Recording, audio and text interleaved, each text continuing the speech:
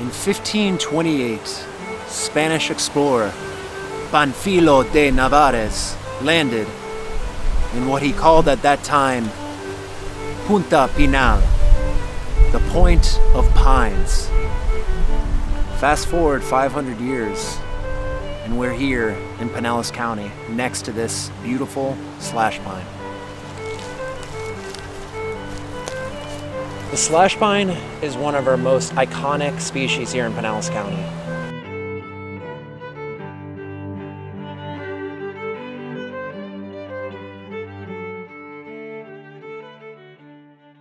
Slash pine, also known as Pinus elliottii, is a fast-growing evergreen tree. The slash pine generally in this area is 50 to 60 feet tall and about 30 to 35 feet wide. It likes full sun and part sun environments and can grow in soils as different as loam, sand, or even occasionally wet types of soils. But one of the most important things is that it needs an acidic pH level, which means it can't be in a highly alkaline environment. So it's really cool to note that pine trees are different than our flowering species. So flowering trees obviously having flowers. Pine trees are in a family of trees called the conifers or the gymnosperms, essentially meaning a naked seed. So the difference between a pine tree and a regular flowering tree is that pine trees have male and female cones. So the large cones that you see are actually the female parts of the plant and the male part is a small cone that actually releases pollen. So conifers being a little bit different is that they use the wind to actually pollinate uh, the female cone with the male pollen. A few really easy ways to identify a slash pine, one of them being with the needles. So these needles are arranged in what are also called fascicles. Generally, you're going to find them in groups of two needles or even sometimes three needles. They're going to be between 6 and 12 inches long. This one's about 6 to 8 inches. This one's about 8 to 10, but 12 inches max, and the smallest they'll get is about 6 inches. Another great way to identify slash pines is the cone. Generally, the cone is going to be two, three, four inches at the most, about six inches. And this is the female cone. It's important to understand that. We don't have the male cone here right now, but the male cone is a lot smaller. So this is the female cone, and it's cool because this portion actually opens up, and on the inside here is sticky resin that actually helps to capture the pollen from the male cone. But another easy way to identify it, it's gonna be about yay big, four inches, six inches at the most.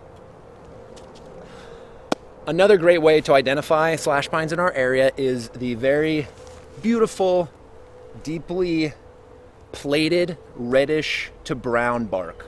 You'll see it in pretty large plates that have these little furrows separated and it's cool to note that in between these furrows and underneath them are different little spots where insects can hide which is one of the reasons why birds like it so much because there's lots of different insects you can eat. There's even what we call a little bagworm moth hanging out right here.